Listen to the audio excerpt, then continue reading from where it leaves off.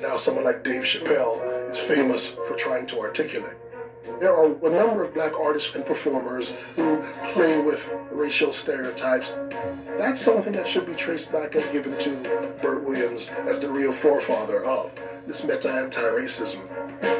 I think just the act of performing, trying to represent blackness in a public space, especially to a non-black audience, is, is a deeply political moment.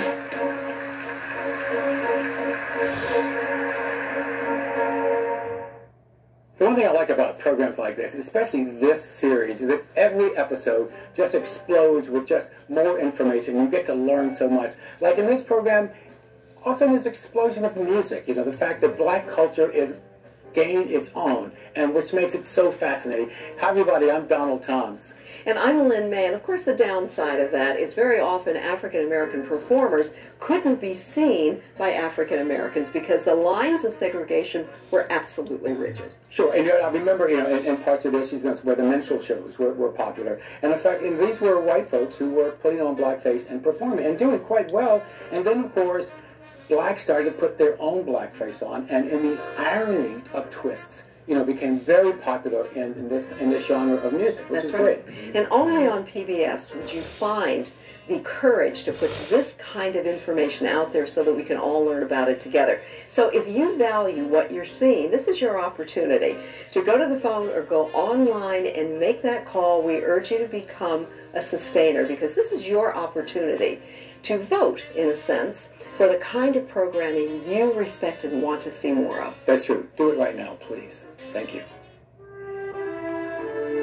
A pivotal chapter in the history of American civil rights, Reconstruction, America after the Civil War, takes a revealing journey through the triumphs and trials that continue to impact the country today. Make a sustaining gift of $7 a month or an annual donation of $84, and our gift to you is your very own copy of this important documentary on two DVDs. This vital four-hour documentary explores the struggle of the African Americans who fought their way out of slavery and challenged the founding ideals of democracy, freedom, and equality.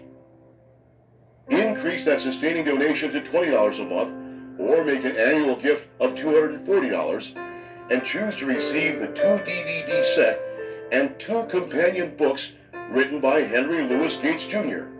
Dark Sky Rising, Recon